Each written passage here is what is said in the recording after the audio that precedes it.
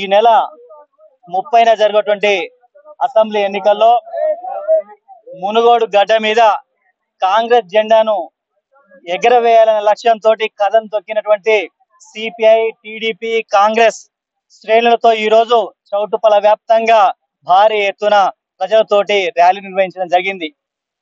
ఈ రోజు చౌటుపల గడ్డ చైతన్యానికి ప్రతిరూపమైనటువంటి గడ్డ.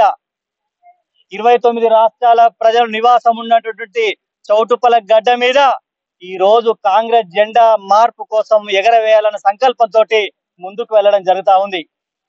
గతంలో ఒక మాధవరెడ్డి గారిని ఉమా మాధవరెడ్డి గారిని చూసి మమేకమైనటువంటి ఈ చైతన్యమైనటువంటి చౌటుపల గడ్డ మీద కోమటిరెడ్డి రాజన్నను యాభై వేల మెజార్టీ గెలిపించి రాబోయే కాంగ్రెస్ ప్రభుత్వంలో ఒక మంత్రిగా అత్యుత స్థాయిలో చూడాలన్న సంకల్పంతో ఈ రోజు ఈ ప్రాంత ప్రజలు ఎదురు చూస్తా ఉన్నారు.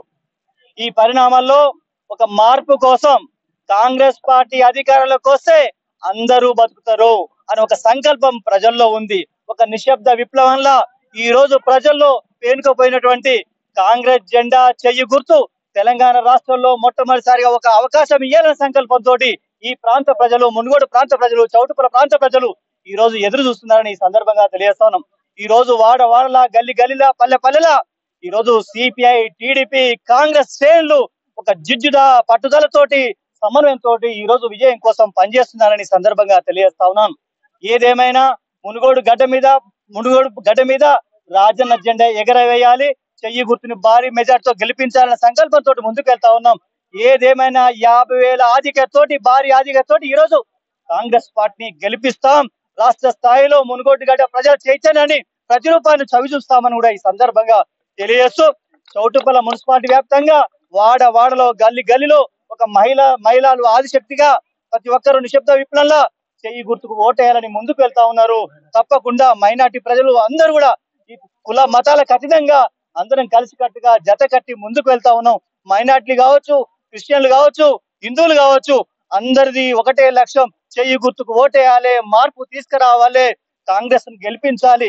కాంగ్రెస్ వస్తే అందరం మొత్తం ఇతరులు వస్తే కేవలం వాళ్ళ కుటుంబాలు బతాయన్న సంకల్పంతోటి ప్రజలు ముందుకు వస్తున్నారు అదే విధంగా ప్రజలు కూడా అందరు కూడా మద్దతు ఇచ్చి భారీ మెజార్టీ తోటి కాంగ్రెస్ పార్టీ గెలిపించాలి మునుగోడు గడ్డ మీద రాజన్నను గెలిపించాలని కోరుకుంటా ఉన్నారు. అదే లక్ష్యంతో అందరం సమన్వయంతో పనిచేస్తా ఉన్నామని ఈ సందర్భంగా తెలియజేస్తూ అదే విధంగా ఎన్ని విధాల మభ్యపెట్టే ప్రయత్నం చేసిన ఇతర పార్టీలు ఎట్టి బస్సులా మీరందరూ మనసు గెలిచి మనసు పూర్తిగా ఆలోచించి కాంగ్రెస్కు ఓటేయాలి చెయ్యి గుర్తుకు ఓటేయాలని కూడా కోరుతా ఉన్నాను.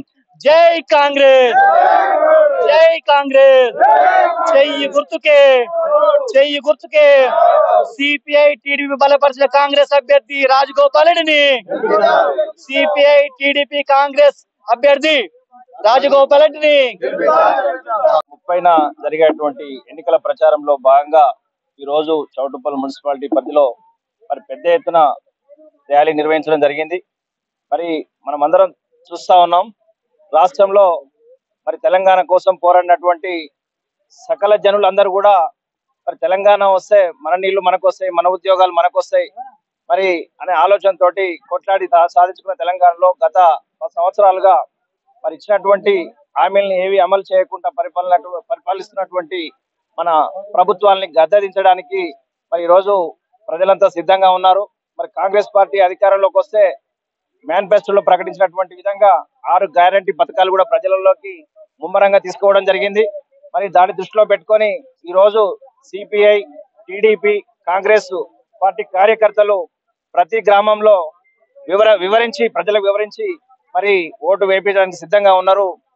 ఈ నెల ముప్పైన జరిగేటువంటి ఎన్నికల్లో అత్యధిక మెజార్టీ తోటి రాజగోపాల్ని గెలిపిస్తామని చెప్పి ఈ సందర్భంగా మనం చేస్తున్నాం.